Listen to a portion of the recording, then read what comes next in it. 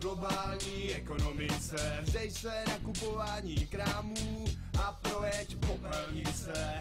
Žitě plní, lidé zíčkaní, modními trendy, zasažení a na nás tam po nich čekají spousty věcí k upotřebení. Kabelky, hodinky, skříňky do koupelny, dárky pro babičky, kalhoty, hrníčky, žradla a pití, co hrdlo ráčí.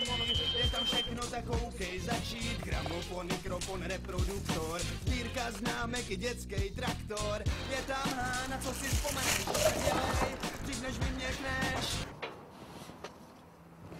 začátku mi to, to dumpsterování přišlo jakoby nechutný, třeba se takhle hrabat v té popelnici, jako to bylo vidět dneska. Ale po čase jsem prostě pochopil, že vlastně to na tom není prakticky nic nechutného. No.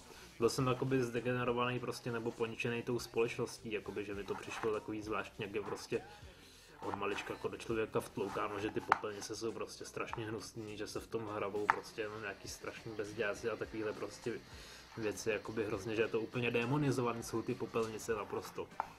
Že mi to přišlo jakoby dřív taky takový horší se v tom hrabat, no ale po čase už mi to přestalo úplně vadit a Skříňky do koupelny, dárky pro babičky, kalhoty, hrníčky, žradla a pití, co hrdlo